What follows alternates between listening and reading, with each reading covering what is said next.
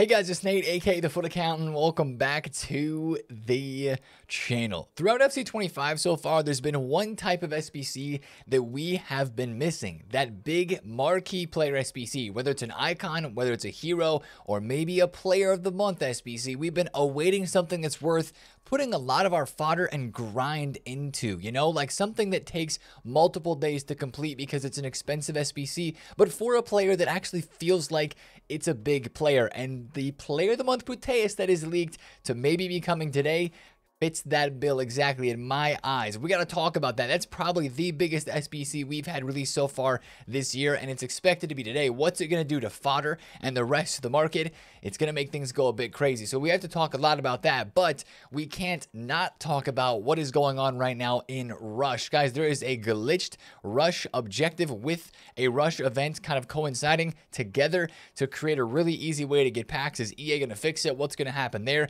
And we got to look towards more content content coming today on Monday that might help us actually get a big SBC done. So if you're excited for it, drop a thumbs up and subscribe if you're new. Let's start by talking about this rush objective and the new rush mode that dropped yesterday, guys. We have the Trailblazers versus Team of the Week new rush mode, Flash Rush event, you'll call it, and the objective. It's really easy. You have to just play 10 games and then also play one match with the Trailblazers and one match with the Team of the Week. Really easy to get done. You get some player picks, 84 doubles, 83 doubles.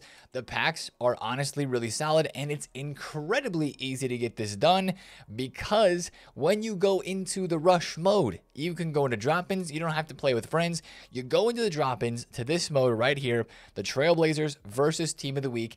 You don't even have to finish the game, guys. This has been glitched since it was released. If it'll load for me, maybe it's not going to load. There we go. Right here. This mode right here is glitched. If you go into this, go into the start of the game, the game goes for kicks off maybe a couple of seconds and then you quit out, you will go to objectives and see that you will get progress. Even for quitting out of that game and not completing it, it will count as a game played towards that objective and you can very easily and very quickly get this done. Seems kind of like a cheating way, right? It's like EA's objective system is counting the quits as a game played, which usually in other objectives doesn't count for games played, right? When you play a game and you quit out, it doesn't count. So it's interesting that this one works, but it's creating a really big issue right now in terms of playing Rush. I tweeted this out yesterday because I went into a game of Rush on stream and literally you're playing by yourself. And then a lot of times the other team will end up forfeiting and quitting because all four players will quit out since like everybody is doing this right now in Rush. And it actually, I know it is kind of a negative thing. It's like, wow, EA, the game is broken. Like, fix this. I mean, it's also nice to get the packs for really easy.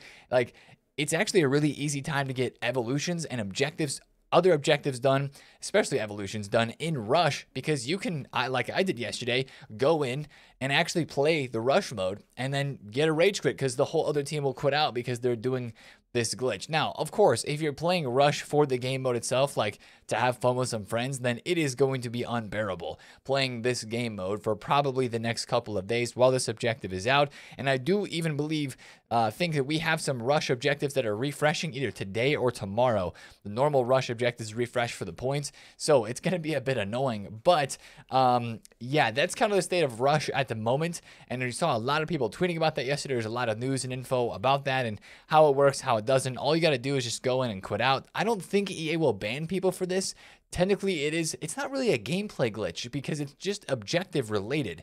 You know what I'm saying? So it's really weird. Yes, there are rewards involved. We'll see if EA says anything about it today. Um, I would assume that they would, but it's only out for a couple of days. So it's a very short time period, and it's honestly a very easy objective anyway. It just kind of stains something that was supposed to be kind of fun. And I know that not a lot of people see Rush as like super fun, but at least I thought the idea of Trailblazers versus Team of the Week, it's also very, very, very easy to get rush points through that. So I thought that idea was decent, but kind of the whole glitch thing makes it look a bit different. Let's talk about evolutions yesterday where we had a paid Evo, a 100,000 coin paid Evo called No Pressure, and it gives out press proven plus and a sizable stat upgrade. But once again, just like the Jude Evo, we talked about the last couple of days, it is the stat limits that kind of limit some of the Evos that can go into this. Yes, this Nkunku looks pretty good. Yes, there's a lot of players from your club and maybe my club as well that look pretty good that are maybe worth doing and maybe emotional for you as well. But also, it does kind of limit those top tier of cards. So for me, this one for 100,000 coins, you know what? Like Marcos Llorente, that one's one of the cards that I think is honestly worth it from this.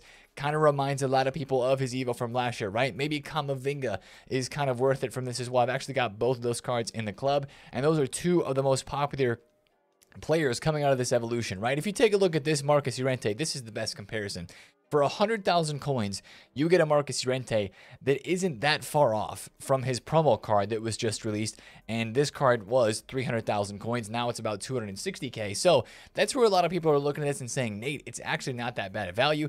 I don't disagree, but only for a few cards. I don't know. Me spending 100,000 coins right now when coins are so important and a lot of the content EA has been releasing is draining my coins even a little bit from SBCs.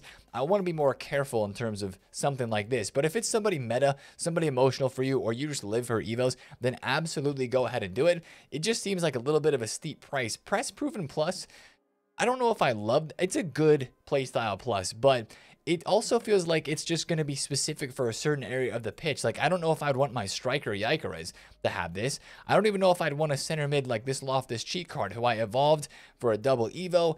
And yeah, he looks really good, but if I take a look at his card, it's like, well, he only would have a playstyle plus and relentless. That doesn't really seem worth it to me. So I'm gonna have to do some searching and see who I really want to put into this. Let me know in the comments which one you guys are gonna go for with this, but there's a lot of hype for sure for the Kamavinga, for the Llorente, the Nkunku would be up there as well, the Kyle Walker. If it's somebody that you use in your team and you can just give them this boost and you're going to use them a lot more, then I think it's worth it. So that plus the SBCs from yesterday are starting to hurt the market a bit. We're going to get into that here in a second. Now, the SBCs that we had yesterday, the big one, well, let's actually go to the small one first. The small one was we had a player SBC, Retegui, uh, the Italian, I believe he's Italian, right? Striker, very cheap SBC. Yeah, Italian striker here. He's got Trivela plus, 86 rated. Very, very cheap SBC. 81 and 82 rated squads. You do need two team of the weeks to get it done. If that interests you, it is there. Let's talk about the big SBC, right? The base hero upgrade pack. Guys, they did it. And what we didn't expect them to do was release this cheaper than the max 88. I was shocked right away yesterday when I saw this SBC being cheaper than the max 88 hero that we had just last week. I actually went and insta completed it and I had my best hero pack pull of the year. You can see that on the second channel, guys. Yesterday was an absolute movie on the stream with this account, with Weekend League, how it progressed, who we bought and used in the team, and some it was just a movie. You got to watch it. It's on the second channel. I'll link it right up above here. We did pack a new hero for the squad. Not an insane one, but a good one, very usable one.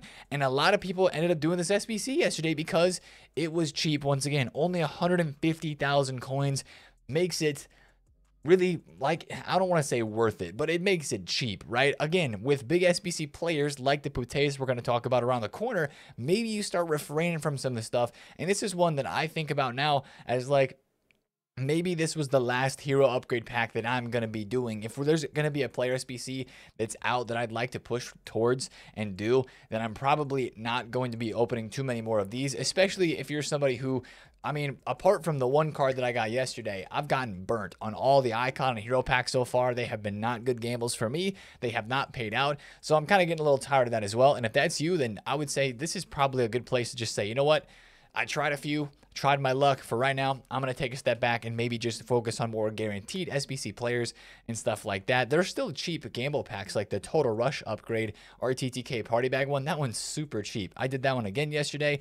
That one doesn't put as much of a dent to your club and fodder as a base hero does even though the base hero is not that expensive anyway. But speaking of fodder, guess what's up? The 85s, the 86s, guys. These were the best investment yesterday for sure. Uh, below 6,000 coins and right at 6K during squad data rewards, spiking all the way up over 7,000 coins. They're just back down a little bit now, but I would imagine they would go a little bit back higher above 7,000 coins today for the 85s. More SBCs coming today, tomorrow, and then probably by Wednesday, just like every single week, you'd want to get out. Now, something I've actually noticed last week and maybe even the week before on fodder is selling on like Monday or Tuesday is sometimes the best when it comes to the fodder prices here. Now, it's not for every single rating, but especially the lower rateds, getting out a little bit earlier when the bigger SBCs are released and then when they refresh as well is kind of the best time to go ahead and do that. But I would expect fodder since we're climbing out of the weekend. People are going to get their last set of FUT Champs rewards today. People are going to go be doing SBCs. More SBCs coming, of course, next couple of days. Fodder's looking like a good hold on really all levels. The only fodder that I would have considered selling yesterday would have been 84s and 85s in the peak of the content drop when these went from 84s went all the way above 3 3.5 3.3 to 3.5k on some cards there and then the 85s were selling over 7,000 coins. As always, if you're invested there, feel free to list for lazies. And even speaking of fodder, we got to look at team of the weeks for a quick second too. I like to talk about fodder cards and golds, and then team of the weeks at the same time. Team of the weeks, I think we're reaching um, maybe not new highs, but they're just starting to creep up just ever so slightly. I think they were all minimum 12.5k or 12.75 yesterday on the market. Currently, team of the weeks are right around 12K into selling at 11.75. So EA keep requiring them. They're going to slowly just keep inching up in price.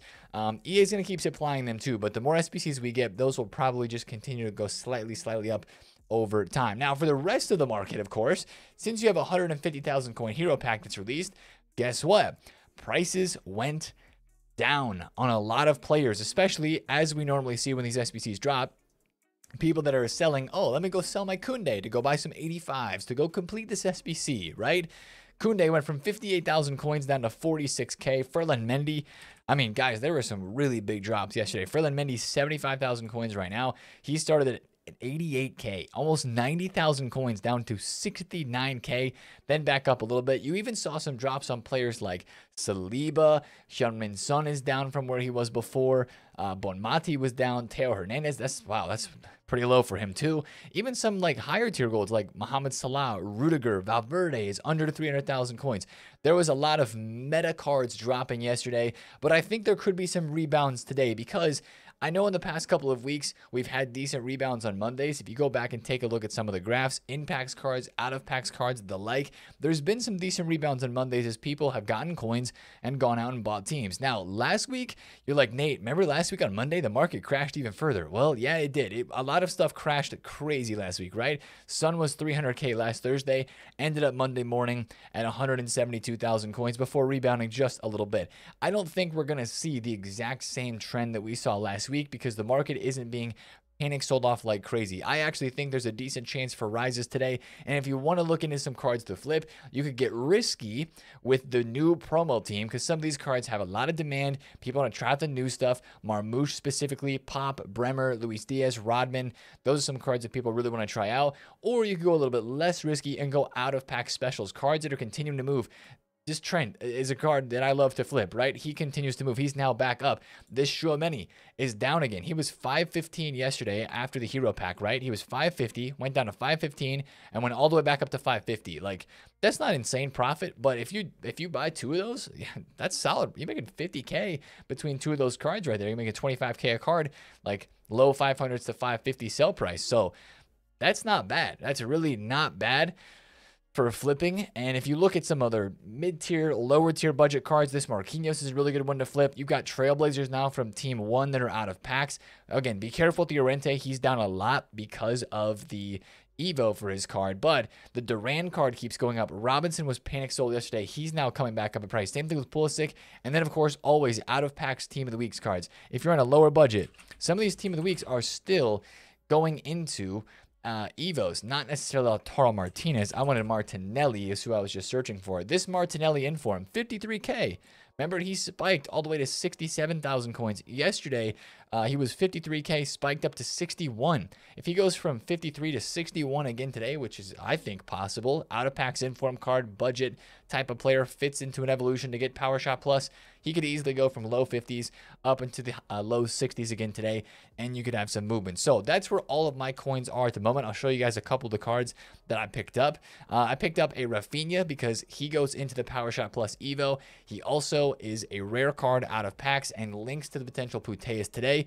Picked up a Diogo Dalot for 217 on bid and a Gabriel for 325 on bid because I was like, man, that's just really, really cheap. Hoping that we see a little bit of a market bounce back today. But I don't know how long I will hold those cards. I'm hoping that it's like a nice rise pre-content, even with the rumors and the uh, the hype of the SBC coming today.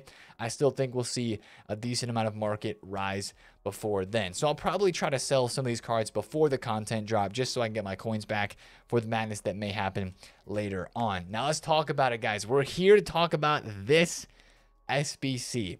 Putellas player of the month. FUT Sheriff is confirming the leak here. And guys, it's believed this SBC is going to be coming out today because it was exactly a month ago when we had the Ajibade SBC released as well for the Player of the Month Liga F. As you can see, her SBC is about to expire today. And so far this year, like we just had the Lamine Yamal Player of the Month expire, and what came right after it? Of course, the Lewandowski. So it's kind of happening in succession this year. One SBC goes away, the next one comes in. That's what we normally expect. Now, could EA have other ideas? They could, but it's believed that this would be dropping today, Putellas, and it's such a massive SBC, guys. This is the official card according to leaks from earlier in the week from FUTDonk.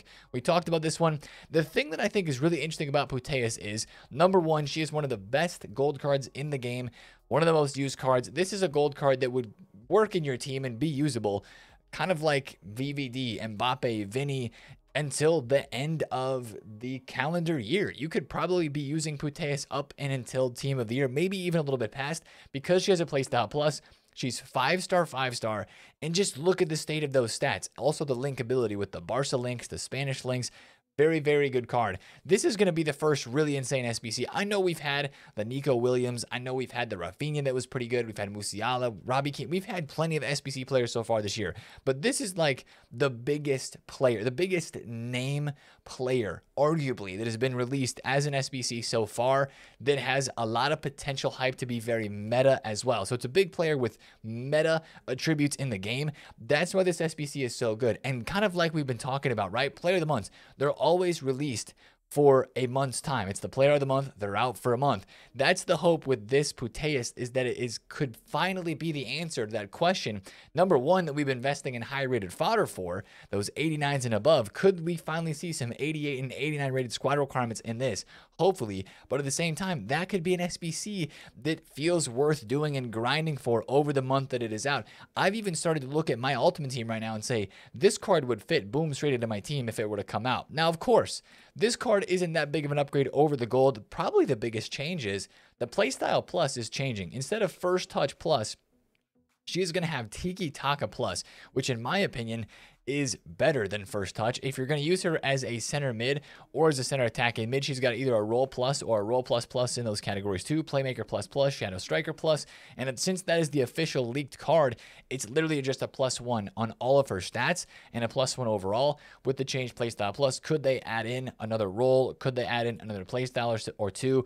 They absolutely could, but we're kind of basing it off of the gold. Now, let's talk about price. How much is this SBC going to cost us? Well, Usually, what we normally see when this sort of thing happens is whatever promo card is on the market that is for that same player, that the new card is going to come out as an SBC in the same rating realm it's usually pretty close in price. And the problem with that is this Putellas card, when Putellas won Player of the Month, was still 1.8 to 1.9 million coins. And it's dropped off since then steadily every single day as people have been selling this and not wanting to buy it before the SBC comes out. My worry is that this SBC, that EA knows a lot of people are going to want to do it, kind of like an Mbappe Player of the Month. Those are always really expensive looking SBCs, but then you craft it over the month's time and you're like, wow, I can use this card for months and months and months and it feels worth it, right?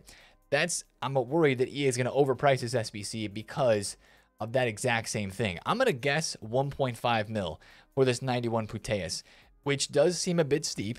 But you think about the packs back that you'll get from it. Of course, you won't be spending 1.5 mil out of pocket to get it done. You'll be doing it over time. You got FUT champs, you got rivals, you got all these rewards that are out, better rewards than in previous years. I know that means gameplay grind. And I know that means not a lot of fun times and enjoyment if you're doing more gameplay. Um, but I I think that's where it's going to be valued. If it's if it's around a million coins, that would be fantastic. But usually with play of the months like this, they don't come in cheap because EA know exactly what they're putting out in terms of a meta card, right? So I'm going to guess 1.5 million coins, and then at that stage, you have to look at the gold and say, is it worth the price upgrade for that card? Instead of just buying the gold card. That's something you're really going to have to consider. I do believe that this Putellas card has dropped a ton. It's from 500,000 coins to 295k. Like that's a huge drop. If the SBC comes out at 1.2 to 1.5 million coins, you actually might see her gold card have a slight rebound just because people are like, screw that. I'm not going and doing that expensive of an SBC. But I do believe there would be still some panic selling today on this card, so watch out for that. And the same thing for this version. I wouldn't be buying this version until I see the actual price of the player of the month. And if it's over the price of this card, there could be a bit of a rebound. Um, but then I think the card would probably still drop over time because, again, like an Mbappe player of the month, it's not a direct one to one comparison, but this is the first time we've had Liga F, so it's also a bit new. We're going to have to figure it out. But this is a player with hype that is nearing that level and people are still going to do the SBC over time no matter what. That's why I'm excited for it because it's such a meta card. And if we talk about fodder and if we talk about how many SBC segments is this going to require, like, I mean, what have we had for player SBC so far? Nine segments, nine. I mean, the Haaland SBC was only, what was it, two different separate segments of four each, so like eight. Like, we are going to have the biggest SBC of the year with this SBC release. The question is, is it going to be a disgusting list of squads, like 20? Because they're going to go with the low rated, like they've been doing a lot of low rated squads in quantity, or are they going to go with some higher rated squads, which is what a lot of us have our fingers crossed for, for some 88 and some 89 rated squads to make this part of the fodder market go up. I think it's inevitable. There's going to be some 88 rated squads at the very least inside of this, even if EA go annoyingly low with the rating requirements. And I think that would start to make some of these cards go up in value. I don't know if there's really a lot of time to invest in these. I don't think these cards are going to just absolutely explode unless the value is great. If this Putellas value looks great, if it's like a less than a million coins, which I think would be pretty good value for this card, especially considering it's out for a long time.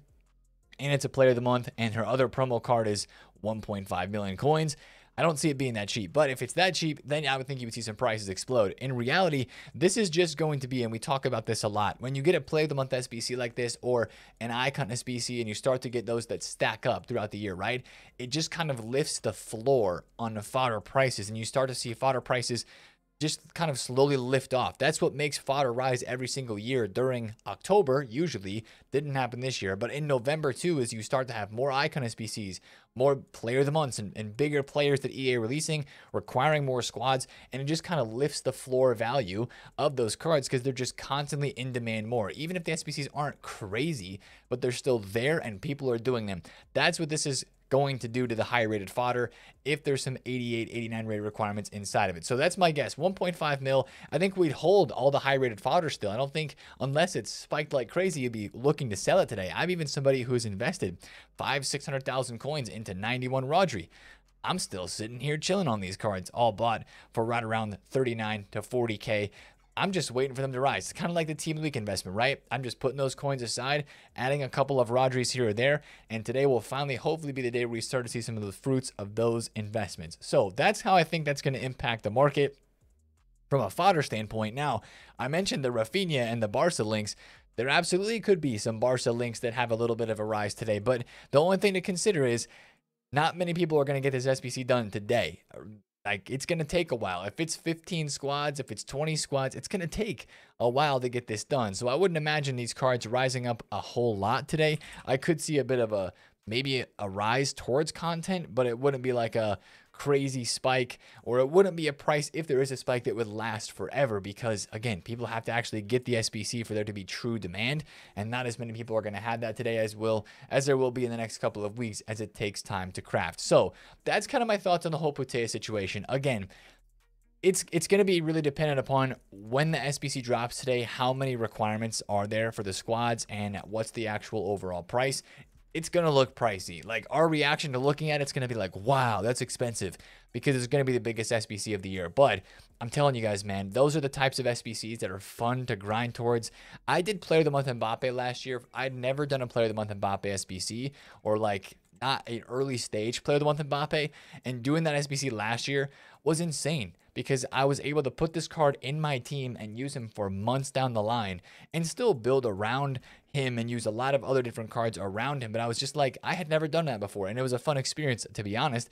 I wouldn't do it again for an Mbappe, especially I don't know, three. It would be a really expensive SBC this year, but I have not really used Putellas. Last year, I used her for a couple of games at the end of the year, so this is really, really intriguing to me. I need a player of her caliber as a center attacking mid in my current team right now.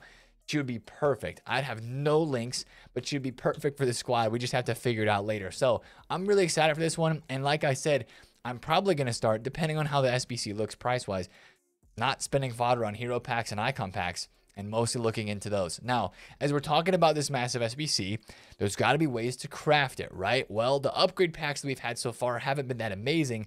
However, there's a new one in the code.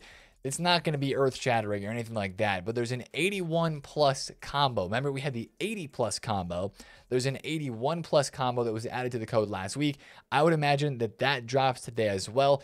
Could potentially help with the craft. Tomorrow on Tuesday, we probably have another upgrade pack that would help us with the craft there. So that's things to consider regarding that. Maybe look at the gold commons and the gold rare situation in your club. Maybe even check out your transfer list. I've got a bunch of gold rares on my transfer list that the ones that are below 81 rated, they're going to get chucked into upgrade pack SBCs to maybe turn out some more 84s, 85s, 86s if we get lucky from upgrade packs to put into an SBC like that. I know there's not a great menu craft or grind that is out right now, but maybe this is the beginning of it, and maybe we can find something here with, I don't know about League SBCs. I don't know if that's a really craftable and grindable, but you know, watch for the upgrade packs today. We'll see if EA do anything special there.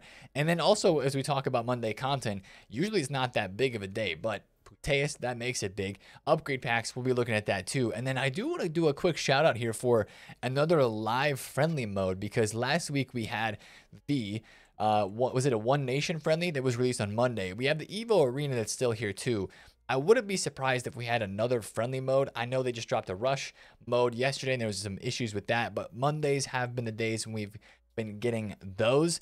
But uh, yeah, besides that, I wouldn't expect a whole lot else today. Maybe there's some other leaks about other things going on SBC wise, but that's why I've kind of picked up on some cards in the market because stuff that people may be getting into after champs rewards today, I wanted to get into some of that stuff. Like Dalot at 217, he was he's one of those cards that if you look at his graph, it just looks like this, straight up and straight down. Even with the Putellas coming today, there's probably plenty of people who want to buy this Dalot card that won't care too much. And I know that Dalot maybe is going to get impacted in price a little bit because of uh, the new left back, Nuno Tavares, but his price is still held very well throughout the weekend, even with that uh, card out. So, and then the same thing with Trent, right? I bought Trent yesterday at 329, and he's now back up to 350. I bought one more again, so it's looking good for the market for a little bit of a rise today. If you want to go less risk, I think you go out of pack specials, heroes, and icons. But if you want to go a little bit more risk, maybe some golds, and watch Road to the Knockouts. Road to the Knockouts with games for Champions League coming in just one day tomorrow maybe start to think about selling in the hype for a few of those, especially if they're lower rated, because lower rated stuff you always want to sell in the hype. Um, higher rated stuff, you know, you can maybe wait a little bit longer on. Frimpong is up a ton, but they're expected to win and score. Like this card has gone from 700,000 coins to now 830 at the moment. So he's up big. It's maybe time to start thinking about cashing out because especially if somebody like eclipses both upgrade requirements and is trending towards the upgrade later on this week, you probably want to sell before the card gets upgraded because oftentimes after there's no more upgrades to chase for a live card or for how these look, it's kind of the first two plus ones, right? And then after that, it's like a big time waiting game until that last top two in the league could be even figured out. I think you want to sell on the hype for these for sure. We'll talk more about the live cards throughout this week. I know a lot of you guys have invested in them, but today's a day where they'll probably continue to go up and you could just rack in the extra coins as they do so. So that's the big look into a big day today with the Putellas SBC most likely coming. I don't want to say 100% because you never know with EA Sports. Since this is such a big of an SBC, would they want to put it on a Monday?